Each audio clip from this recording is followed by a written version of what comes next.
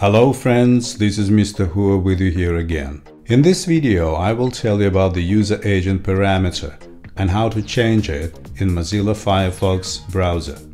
User agent is the user data which the browser sends to the server.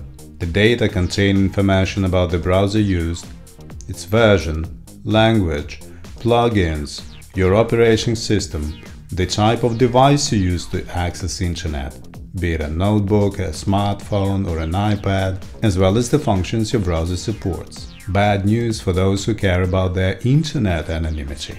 You should remember though that User Agent helps display the websites with non-adaptive design correctly, since browsers use different styles and scripts to display the same content.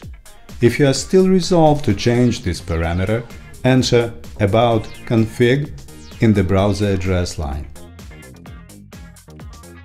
From the following page, you can create your own parameter, just select line as its type, enter the following phrase,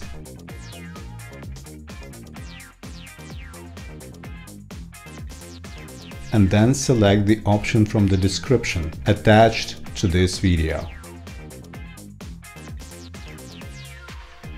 Not all that difficult, huh? We got ourselves a slightly higher level of internet security. That's it for today. It was Mr. Whoer and stay tuned to my channel or add whoer.net to your bookmarks for tips on keeping your internet secure.